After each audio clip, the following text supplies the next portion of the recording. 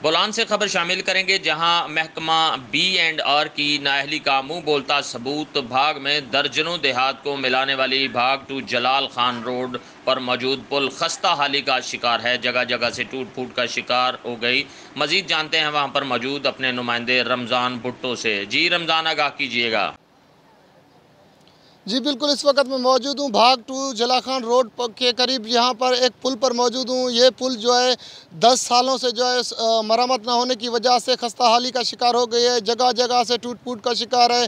पुल बिल्कुल जो है, इस खस्ता हाली में तब्दील हो चुकी है। इसमें बड़े बड़े गड़े पड़ गए हैं, मगर महकमा की नाहली की वजह से जो है, इस पुल की दस साल गुजरने के बावजूद भी जो है, मरम्मत का काम नहीं हो सका। शहरी जो है, खौफ वरास में आप देख सकते हैं, इस वक्त भी पुल के ऊपर जो है दर्जनों की तादाद में जो है, लोग बैठे हुए हैं, मगर इन पे जो खौफ भी एक नज़र आ रहा है कि भाई खुदा न खासा ये पुल गिर जाए और ये जो बड़े हादसे का सबब बन सकता है। महकमा की नाहली की वजह से जो है पुल की जो है मरम्मत भी नहीं हुई।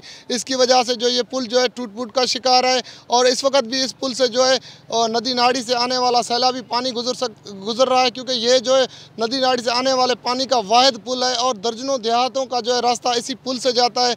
मगर महकमा जो है नज़र नहीं आ रहा कहीं भी और शहरीों ने जो है एकम बाला से मुतालबा किया है कि फिलफोर महकमा के खिलाफ नोटिस लेकर इस पुल की जो मरम्मत की जाए ताकि जो किसी बड़े नुकसान से जो है बचा जा सके। जी।